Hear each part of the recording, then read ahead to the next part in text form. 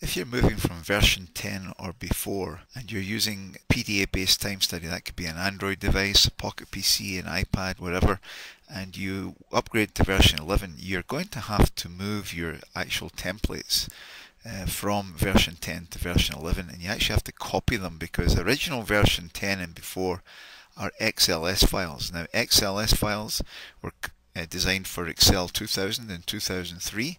Uh, they work in compatibility mode in 2007 and 2010. But version 11 of Timer Pro only works in version 2007, 2010 and 2013 of Excel. And they're also created as XLS M, M being macro enabled. So this is what you have to do when you're upgrading from a version 10 or before a time study template to a version 11. So here I've got my version 10. You can see down here. You can tell which version you have if you look at row 32 of your main menu sheet. It says Timer Pro Professional V10. This is version 10 and this is the date of the build of that particular uh, template. So you can see this is May 24, 2012. So essentially you're looking for V10 or earlier here. So what we want to do is we want to move this over. So you've got an outline here of a simple warehousing type study and maybe you want to move this over to version 11. What you're going to do is you're going to open up version 11 here. This is the icon for Timer Pro version 11 and it's going to pop up.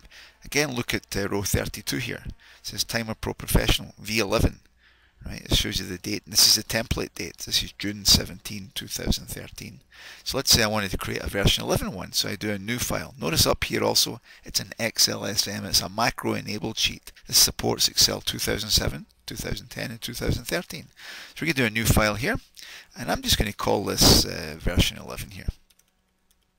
Click on the save. Give a second or two and uh, here's my version 11 up. Now it will always come up with a default template here. So you can see the default here. So the first thing you want to do is delete whatever's in the default sheet. And then you're going to toggle back to your own version here. So we can back over to version 10 and we want to copy these elements here. So we just highlight them, right button and do a copy. Move over to version 11, right button. And very often you'll find you can't paste it in. Now why can't you paste it in?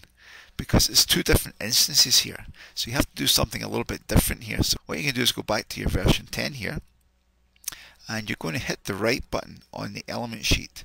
And what you're going to do is take this move or copy option right here. And then when you do the drop down, you'll see the other one. Here's your version 11.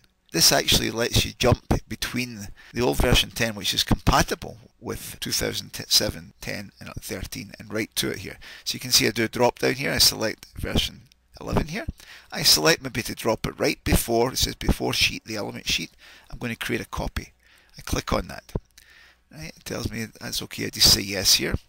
Now if I go over to version 11 now, you can see I've created an elements 2 here.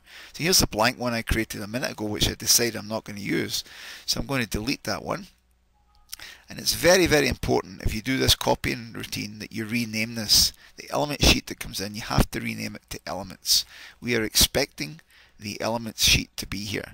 So you want to come down here and just remove any prefix or suffix it might add to it here so that you end up with an element sheet right here.